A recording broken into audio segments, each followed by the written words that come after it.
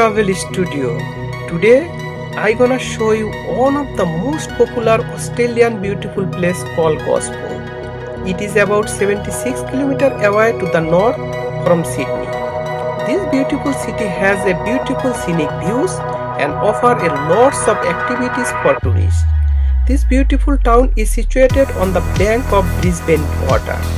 This city is the administrative center of the Central Coast region. This beautiful city is very popular to the tourists after Sydney and Newcastle as it is full of beauty. It has lakes, rivers, beaches, mountains, waterfall and healthy environments. Please enjoy the video and if you are new on my channel then please don't forget to like, share and subscribe my channel. Please keep watching. Thank you.